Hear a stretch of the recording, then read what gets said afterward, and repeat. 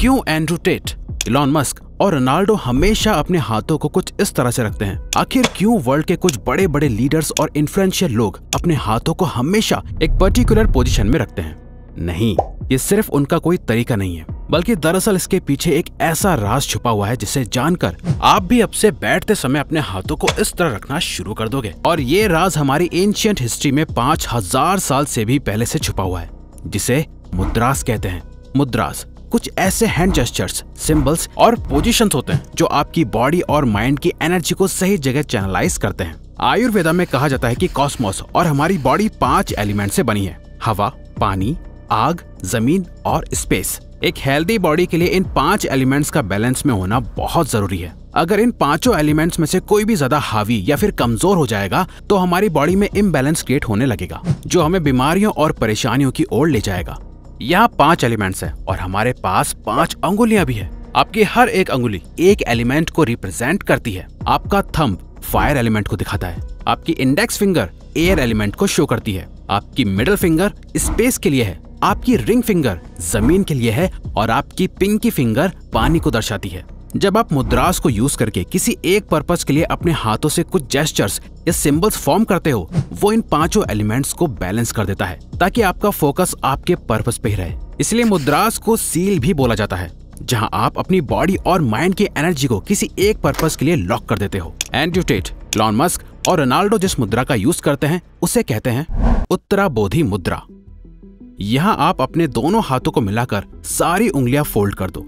अपनी दोनों index finger को बाहर निकालो और जोड़े रखो। साथ ही अपने दोनों अंगूठों को भी बाहर निकाल कर पीछे की ओर ले जाओ और जोड़े रखो। इस मुद्रा को मुद्रा ऑफ़ द हाईएस्ट एनलाइटमेंट मुद्रा कहा जाता है, जिसे बुद्धा खुद परफॉर्म करते थे। इसे यूज़ करने का सबसे बड़ा रीजन है, ये आपके इनर और आउटर अवेयरनेस को बढ़ाता है। आपके फोकस और कंसंट्रेशन को बढ़ाने के साथ ही ये आपके दिमाग को चारों ओर चलने वाली चीज़ों से सतर्क रखता है। ये आपके सेल्फ कॉन्फिडेंस को बहुत ज़्यादा बूस्ट कर देता है। अगर इस मुद्रा को लॉन्ग टर्म तक प्रैक्टिस करा जाए तो ये आपकी लाइफ से फियर यानी डर, चिंता और स्ट्रेस को दूर करके आपको पॉजिटिव बनाता है। साथ ही बेहतर डिसीज़न मेकिंग और प्रॉब्लम सॉल्विंग में भी मदद करता है, जो आपकी पर्सनैलिटी को बदल कर रख देगा। यही रीजन है कि आप इन बड़े बड़े सेलिब्रिटीज को इंटरव्यूज़ देते टाइम इस मुद्रा को परफॉर्म करते हुए देखते हो, जो उनके सेल्फ कॉन्फिडेंस को बूस्ट करता है। और आप नोटिस कर पाते हो कि वो जो बोल रहे होते हैं बहुत कॉन्फिडेंस से बोल रहे होते हैं। कई लोग इस मुद्रा को सिंबल ऑफ़ ट्रुथ भी कहते हैं, क्योंकि जब भी कोई इस मुद्रा में बात कर रहा होता है, वो उसके कॉन्फिडेंस से ये शो कर रहा होता है कि वो सच बोल रहा है। आपने सक्सेसफुल लोगों को एक और मुद्रा को परफॉर्म करते हुए नोटिस करा होगा, जिसे कहते हैं हाकिनी मुद्रा। इस मुद्रा को परफॉर्म करने के लिए अपने हाथों को अपने चेस्ट के सामने रखो, ऐसे, जहाँ आपके दोनों हाथ एक दूसरे से चिपके हुए होने चाहिए। जैसे नमस्ते करते हुए करते हैं ना, वैसे ही। उसके बाद तीन लॉन्ग डीप ब्रेथ्स लो। और अपने हाथों को एक दूसरे से दूर कर दो, जहाँ आपकी सिर्फ़ फिंगर टिप्स ही एक दूसरे से टच होनी चाहिए। और सिर्फ़ अपने फिंगर टिप्स पे प्रेशर को फील करो। इस मुद्रा का नाम हिंदू गॉडेस हाकिनी के नाम से लिया गया है। संस्कृत में हाकिनी का मतलब होता है पावर या रूल आयुर्वेद के अकॉर्डिंग इस मुद्रा को परफॉर्म करने से इंसान को अपने ही माइंड को कंट्रोल करने की पावर मिलती है। साइंटिफिकली भी देखा जाए तो हमारी अंगुलियों में तीन हज़ार से भी ज़्यादा मैक्नो रिसेप्टर्स होते हैं, जो आपके ब्रेन के लिए एक तरह से हाईवे का काम करते हैं, जो न्यूरॉन्स के ज़रिए आपके ब्रेन में अलग अलग सिग्नल्स पहुंचाते हैं। आपकी उंगलियों के इन्हीं मैक्नो रिसेप्टर्स और ब्रेन के न्यूरॉन कनेक्शंस का यूज़ करके जब आप इस मुद्रा को परफॉर्म करते हो तो आपके ब्रेन की पावर बढ़ने लगती है, जिससे आपको कई फ़ायदे होते हैं। ये आपकी मेमोरी को बूस्ट करता है। आपका ब्रेन ज़्यादा एनर्जाइज फील करता है। क्लैरिटी को बढ़ाता है और क्रिएटिविटी को भी डेवलप करता है। लेकिन अगर आपको फोकस और कंसंट्रेशन करने में दिक्कत होती है तो ये नेक्स्ट मुद्रा ज़रूर शुरू कर दो। ध्यान मुद्रा। आपने ज़्यादातर मॉन्क्स को कुछ इस तरह बैठे हुए देखा होगा। जब भी कोई मेडिटेशन करता है या अपने माइंड को रिलैक्स करने की प्रैक्टिस करता है तो उससे अपने हाथों को इस पोजिशन में रखने के लिए कहा जाता है। ये है ध्यान मुद्रा। जिसे कंसंट्रेशन मुद्रा के नाम से भी जाना जाता है। इसे प्रैक्टिस करने के लिए सबसे पहले कंफर्टेबल होकर बैठ जाओ। अपने हाथों को नीचे रखो, जहाँ आपका राइट हैंड आपके लेफ़्ट हैंड के ऊपर होना चाहिए, और थम्स एक दूसरे से टच होने चाहिए। इस तरह से आपका थंब फायर एलिमेंट को शो करता है। इस मुद्रा को परफॉर्म करते वक्त आपके दोनों थंब एक दूसरे से मिल जाते हैं। वहीं बाकी सारे एलिमेंट्स रेस्ट पे होते हैं। ये आपको एक डीप मेडिटेटिव स्टेट में पहुँचाने में बहुत हेल्प करता है। इस मुद्रा से आपको कई फ़ायदे होते हैं। ये आपके काम माइंड को प्रमोट करता है, आपके कंसंट्रेशन को बढ़ाता है और आपके माइंड में अननेसेसरी थॉट्स आने से रोकता है। अब नेक्स्ट है कुबेर मुद्रा। इस मुद्रा को गॉड ऑफ़ वेल्थ कुबेर के लिए डेडिकेट करा गया है। इसे परफॉर्म करने के लिए अपने अंगूठे की फिंगर टिप को, अपने इंडेक्स फिंगर और मिडिल फिंगर की टिप से चिपका दो, जहाँ हल्का सा प्रेशर भी बने। बाकी दोनों फिंगर्स को अपने पाम पे रेस्ट करने दो। अगर आप इस मुद्रा को हर दिन 10 से 15 मिनट तक प्रैक्टिस करोगे तो लॉन्ग टर्म में आपको इसके कई बेनिफिट्स देखने को मिल जाएँगे।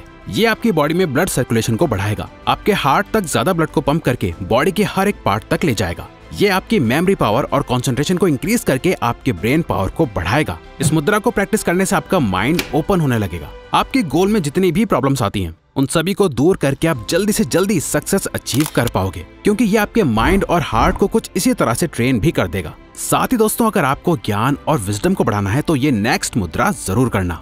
चिन मुद्रा और ज्ञान मुद्रा।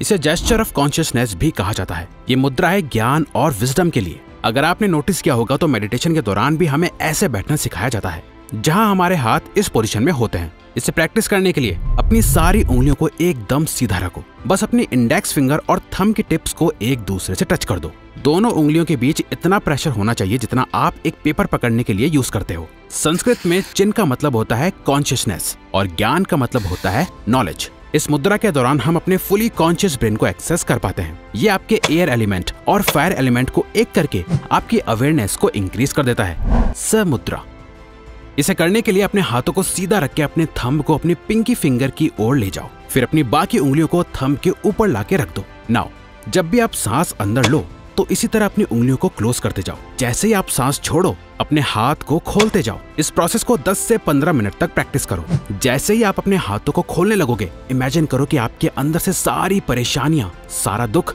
सारे फियर्स धीरे धीरे आपकी बॉडी से निकल रहे हैं। इस एक्सरसाइज को कम से कम सात बार रिपीट करो। इस मुद्रा को ताओइस्ट मॉन्ग के लीडर किम तौन ने डिस्कवर करा था। वो कहते हैं ये मुद्रा आपके अंदर की सैडनेस को ले जाता है। आपके डर को खत्म कर देता है। यहाँ तक कि आपके डिप्रेशन को भी ओवरकम करने में हेल्प करता है। ये आपकी पर्सनल मैग्नेटिज्म और मेंटल पावर को बढ़ाता है। गणेश मुद्रा।